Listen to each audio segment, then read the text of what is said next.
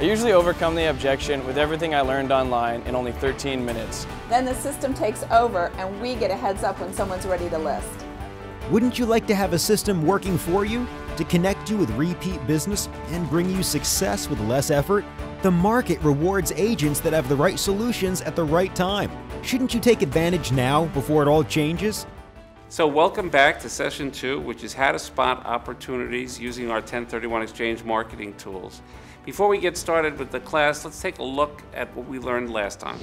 Before you get too far, you need to know who to talk to. And so we want you to be able to create leads with 1031 exchanges by knowing these prospects. Step one, is put the link on your phone. Number two, use the links as you meet people and bring it up in conversations. But you want to register people, which is step number three. It's that simple. Okay, so let's get to the topic at hand. The most important thing is to show the client how these different scenarios are going to work for them so they can see themselves in the situations. Well, this is all about leads, leads, leads. All the agents that I've ever spoken to want more leads. So this is a way to get the client engaged, start conversations, and basically get them registered. I use the analogy of, you know, you don't really need to know how the watch is made, you just need to know what time it is as an agent. Okay, so now let's take a look at some examples in a PowerPoint that'll allow people to see themselves and see how an exchange is going to work for their particular situation. Once they understand the end game, they're going to be happy to move along. Absolutely, so take a look.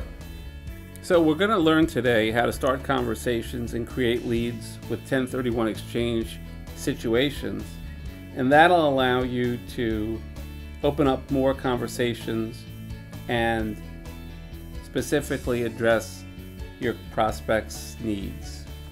In order to address the client's needs, you need to know who to speak to.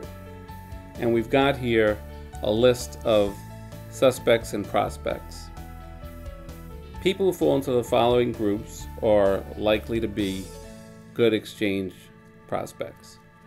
If they want to sell a vacation property or a second home, they could be selling an investment rental or a single family home with a home office because the home office portion of the real estate is exchangeable. People in a divorce, believe it or not, are potential prospects because one of the parties typically moves out and the family home becomes a former residence. And so they can exchange their interest in what is now their former residence. And if people are in a retiring mode, they're interested in liquidating investments that qualify, which would be rental properties, and buying properties that uh, they can move into in, in time period. People that are fixing up property can do so also in an exchange with tax-free money that's available in their exchange account. So they can not only buy a piece of property with the exchange funds, but they can fix it up with the exchange funds. So let's take a look at a couple of scenarios now. So when you start a conversation and you're moving it along, you can determine if the person you're speaking to is a prospect for the situations that are exchange situations. So here, do you know this person? They've recently been divorced. They've moved out of their home, and their former residence is occupied by their former spouse. So once they move out, they create a new legal residence. Did you know that they could be eligible for an exchange? Because they no longer live in the home, they are now able to exchange an interest in the home, which is their former residence.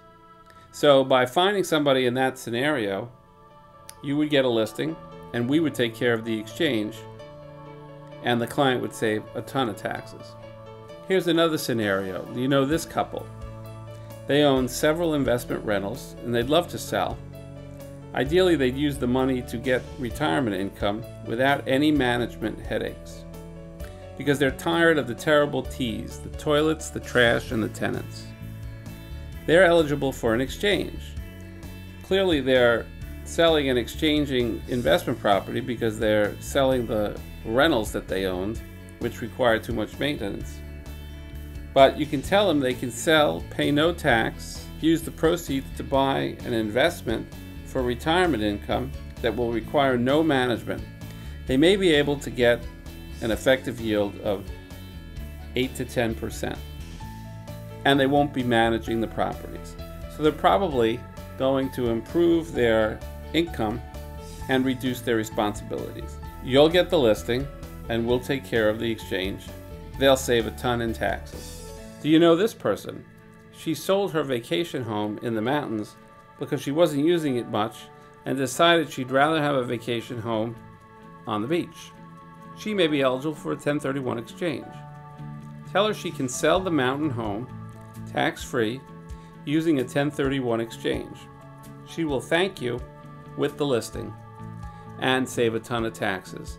And so this just brings up the point that people who are in a vacation rental that aren't getting the use out of it that they thought can reinvest in either a rental income or a vacation home that's somewhere else that they'd get more use from. Here's another common scenario. You know this person. He inherited a house from his mom and the house went up in value. Though he doesn't really want to keep the property, he's reluctant to sell it because he doesn't want to pay all the taxes. You can tell him that he can pay no tax if he reinvests with a 1031 exchange. Connect him with us and we'll educate him on his options. Typically, he would owe tax on the increase in value from when he inherited the property. But with an exchange, you can avoid all the taxes and he can reposition the investment into something that better serves his needs. You can help him find that new property and we can help them save a ton of taxes through the exchange. As another scenario, how about this couple? They have three investment rentals to sell, but they want to use the money to buy a home to retire in. If they sell and pay the taxes on the investment properties, they won't have enough to buy the home they really want. Well, they may be eligible for a 1031 exchange. If you let them know they can sell their investments, pay no tax through the use of an exchange, they can use the proceeds to buy a home that will someday become their retirement home. And if they play their cards right, they can even live mortgage free. We can tell them all the rules of how to get it done. You just need to identify the couple so you can offer them a turnkey solution. So as you can see, there are a variety of specialty exchanges which are available and you can use these in your practice as you meet prospects. All you have to do is identify the prospects that fall into the categories that we went over at the beginning of the session. You need to reach out to them using our free social media marketing tools and we'll take care of the rest. You'll be kept up to date and in the loop with an email and with a report that's available on our site. So you'll know who your prospects are. But now that you know these situations, you know who to speak to and what to do to get the conversation going. So your job is to get them registered. You can do that for them. You can help them walk through the process. And really the key is to really get this process moving forward so we can show them how this is all going to work.